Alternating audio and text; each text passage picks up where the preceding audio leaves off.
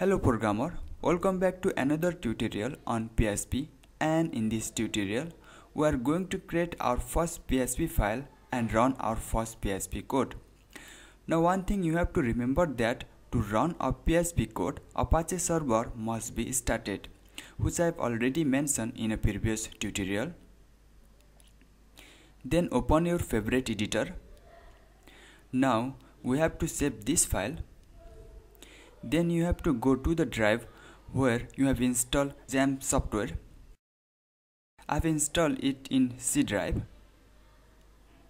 And here you can see a XAMPP folder. Just open it. Now among all these folder you may see htdocs which means hypertext document. Just open it. And in this htdocs folder we create a PHP file to run a PHP code. So first I'm gonna create a folder called tutorial.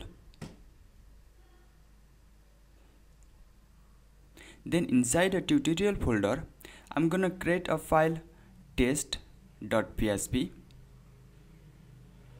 After that, you have to open your browser. Then type localhost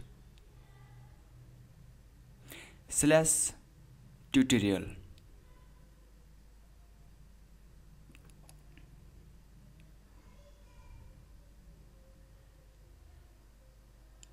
And here localhost refer to this directory so that when we write localhost slash then the name of file or folder inside a htdocs folder which we want to access.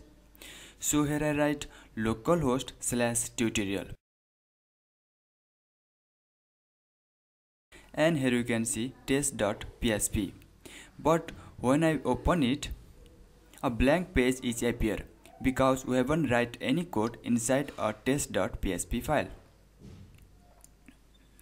We know that for a HTML code we start with HTML and close with this.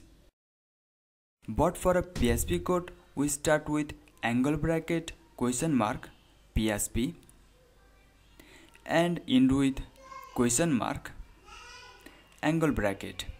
Then inside we write a php code. Now write echo. My first php code.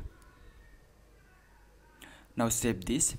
Now when i refresh the page i got my first php code. And once again before you run a php code make sure apache is started and to run a PHP file you have to save that file in htdocs folder.